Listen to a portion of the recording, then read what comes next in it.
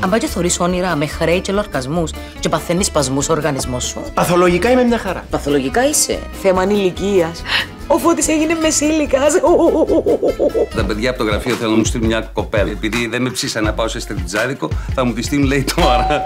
Βασιλική Γεωργατσούλη, είπα στην νόμο Α. Όχι ρε παιδιά, πάλι αστυνόμο. Μην ανησυχείτε, είμαι εκπαιδευμένη. Δεν ενδιαφέρομαι. Δεν ρώτησα αν ενδιαφέρεστε. Πάντως είστε πολύ πιστικοί, μπράβο. Μ' αρέσει που είσαι σεμνό, αλλά είμαι σίγουρη ότι μέσα σου κρύβεις ένα τίγρη. Αν είναι να ξυπνήσει, θα ξυπνήσει κάποια στιγμή. Α ξυπνήσει όμως. Μη φοβάσαι. Θα μπω μπροστά σου για να φάω τη σφαίρα. Κικίτσα. Πάει το αυτοκινητάκι μου, πάει. Έτσι καπνούς, ούτε στη συναυλία της Lady Gaga. Έφυγε μισή ώρα πριν από όλους. Μπορεί να την απαραγάγαν. Έλα ρε Δημητρά, πού είσαι; Επίνασα. Μην αρχίζεις τη μουρμούρα. Κάθε Δευτέρα, Τρίτη και Τετάρτη στις 7.30 το βράδυ με νέα επεισόδια. Ξύπνα!